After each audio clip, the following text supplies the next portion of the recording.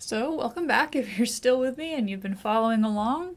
Uh, we're working on finishing up our Pyomo abstract model for the CSL model. And so far, we have covered basically creating the whole model from defining the sets parameters and creating a data file. We made decision variables, we made objective function, we created all of our constraints, and this last video just covers running the abstract model and interpreting the solution. So in order to run the abstract model, we first have to create an instance, and then we actually solve that model instance. Um, so looking at our code, so far we have created an abstract model object, defined a bunch of, well, one set and a bunch of parameters. We made our decision variables, we created our objective function, we added our constraints to the model, and now we're at these bottom two sections of the code where first we're going to merge our model and our data files together to create an instance, and then we are going to solve that instance of the model. Um, so we're basically in this uh, video looking at these six lines of code. These first three lines of code are responsible for creating an instance of our model, and these second three lines of code um, solve the model and display the results. So creating a model instance, let's look a little bit more into what that means. It basically means we have a model file, in our case that's cslabstract.py, and we're going to combine that model file with our data file. So we have a data file that we've called csldata.dat. And when we combine those, we're going to get a model instance. What a model instance is, is basically it's a concrete model. So it'll look very much to Pyomo like our concrete formulation of the CSL model. And we'll be able to see that in just a few minutes. So the first step in creating a model instance um, is the line that reads data equals data portal. Um, the data part of this line is basically saying, hey, create a new object and call it data. And what data is going to be is it's going to be a data data portal object. And a data portal object basically knows how to handle data files. It knows how to read them in, it knows how to load them, it knows how to store the information.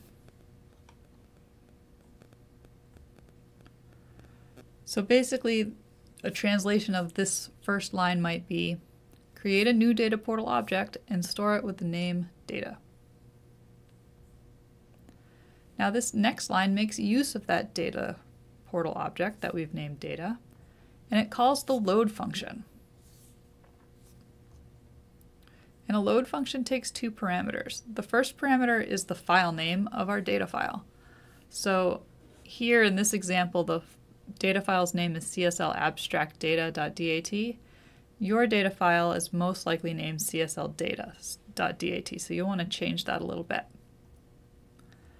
And then the second argument that the load function takes is a model. So basically, in order to read that data file, we need the model file to know how to interpret it. And again, note that your data file probably is named csldata.dat. So this line essentially is going to load our data file and it's going to store all that information in this data object. And then finally, this last of three lines creates our model instance. So it starts off by saying, hey, create a new object, and let's name it instance. And then we're using the create instance function of, a, of our model object. And this create instance function takes a data portal object. So we've given it our data portal object, which we named data. And prior to creating the instance, we have to make sure that we loaded the data into this data portal object, which is what we did in the previous line. So this line, if you were to translate it into words, it says basically use the model.create instance function to merge the data file information with the model instructions to create a model instance. And let's store this instance in an object that we're naming instance. Uh, so we have here our first three lines, which we just went over. And these first three lines have created a model instance. These second three lines, which we'll go over shortly, are going to solve our instance and display the results. But before we do that, I want you to add one more line in between these two sections of code. I want you to add the line instance.pprint. And what this function does is it will print out the model that's made from combining our model and our data file together. It's basically going to print out the concrete model. And let's see how this works. So if I go over to uh, my Spyder screen here and I see uh, this is the whole model that we've created. If I go down to the bottom, between the section of code that's creating the instance and then, but before solving the instance, if I type instance.pprint, and I'm going to comment out these lines that are solving the model for now. So I've commented out the lines that solve the model. The only thing this um, file is going to do when I press uh, run is this instance.pprint line will get executed and in my console we'll be able to see our model. Um, so over here I can see information about my model. I can see that uh, our months set has five values in it. And I can see information about the parameters. For example, hours EXP is going to have a value of 160. And hours required has five different values, one for each month, and the values are different for each of those months. You can see the other parameter values too. We can see that it created decision variables. For the decision variable E, it created 5, and for the decision variable T, it also created 5. Um, but more interestingly, we can see our objective function. And if we look back to when we wrote our objective function, we used a summation. And here, we don't see that summation anymore. It's actually written the entire objective function out so we can make sure that we wrote our summation function correctly. And then similarly, we can see each one of our constraints that were created. Um, so we see that we had a constraint that was E1 is equal to our number of starting experienced uh, workers. And then we see each of these other uh, four constraints were also made in the exact format that they take. And then the hours needed per month, we also see those constraints were created and that they're all lower bound constraints. And we see those parameters also appear um, within these constraints. So if you're ever wondering if your constraint formulations are correct, because some of them get, um, you know, pretty complicated. If you're wondering if you did this whole combination of rule and constraint function correctly, you can always use the pprint function um, and see what's actually been created by the use of, of your functions that you've written. Um, so it can be really handy.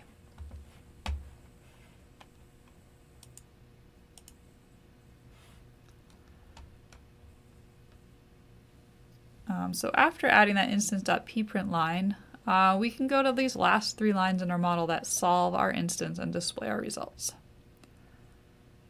So there they are nice and big. So we'll look at this first one first. This first line optimizer says we're creating a new object and let's name it optimizer. Pyomo's solver factory function creates a solver factory object by loading a specific solver. In this case, I'm asking it to load the GLPK solver. Um, this GLPK solver is only going to work if you've already installed it on your computer. The second line is using that optimizer um, that we just created to solve our instance.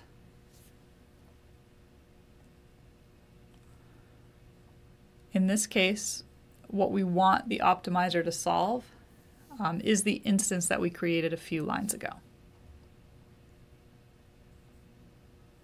And finally, if we want to know what the optimal solution was, uh, we can use this command instance.display, where display um, will display the results of our optimal solution. An important note here is that solving an instance is very similar to solving a concrete model, except for um, we have to say instance um, and provide the instance instead of the model object because the model object doesn't have any of the parameters or any, anything in it until we merge it with the data file. And then real quick, interpreting the model solutions. Um, if we had pressed run in Spyder, we would get some output that looked like this, where uh, this top section talks about our variables, the middle section gives our objective function value, and then the lower part talks about our constraints.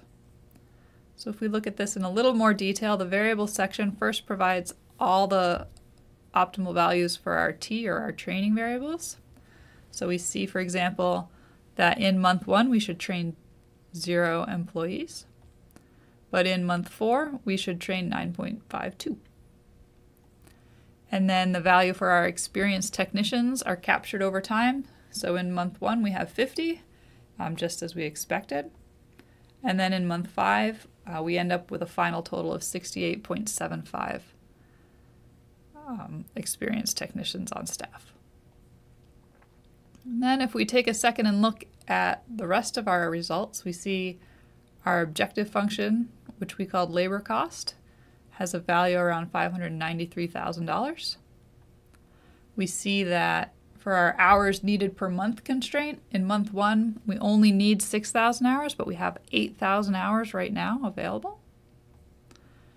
Um, and then some other information we could learn from this model is that, or these results are that in months three, four, and five, our hours needed constraints are binding because we see that our lower limits are 8,000, 9,500, and 11,000, and that's the amount of labor we have. So we're right at those lower limits. And then finally, let's take a look at these experienced tech constraints. Remember, these are our equality constraints that are keeping track of our experienced technicians over time. And these are kind of looking a little bit funny. They all sort of have zero values for months two, three, four, and five. And we actually expect this behavior for equality constraints because Pyomo rewrites them so that the upper and lower bounds are equal to zero. And then these numbers with the really large negative exponents um, are actually just really tiny numbers. So for example, negative 7.105 times e to the negative 15th is actually um, just a really, really, really small number. So it's they're practically zero. These are just rounding errors with the with the solving function.